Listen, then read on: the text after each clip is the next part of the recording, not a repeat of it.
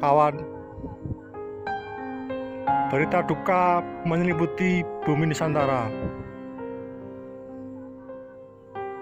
Bunga telah gugur di Taman Solo. Dunia campur sari telah kehilangan sosok legendaris. Air mata sobat ambiar menetes mengiringi keperistirahatan terakhir. Kawan, hari ini Selasa 5 Mei 2020 jam 7 pagi. Berita mengejutkan. Penyanyi Jawa campur sari Didi Kempot telah berpulang ke rahmat Tuhan karena serangan jantung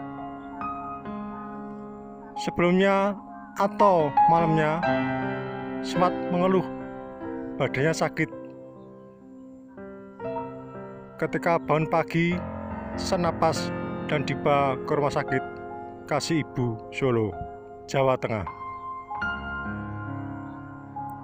Jenazah Didi Kempot dikebumikan di kampung halamannya di tempat pemakaman umum TPU Majasem, Kecamatan Kendal, Kabupaten Ngawi, Jawa Timur.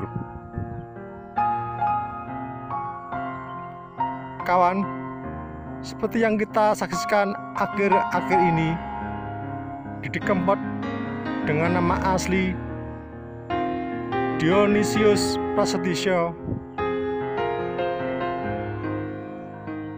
sangat aktif mendukung pemerintah melawan wabah corona COVID-19.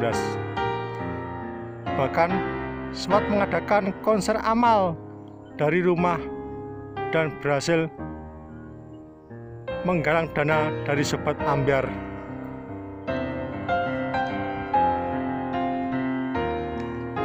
Dengan nominal yang spektakuler 7,6 miliar hanya beberapa jam atas jasa baiknya, uang itu telah disalurkan ke berbagai lembaga kemanusiaan.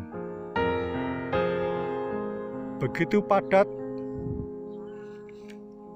jadwal kegiatan membuat sang maestro terlalu lelah dan saking semangatnya melawan corona ia lupa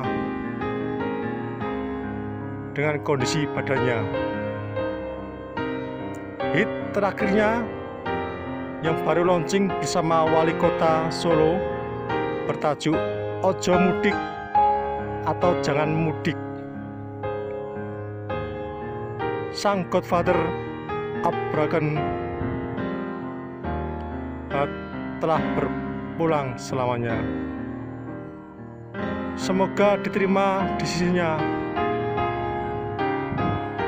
Selamat jalan, Sang Maestro. Didi Kempot. Amin.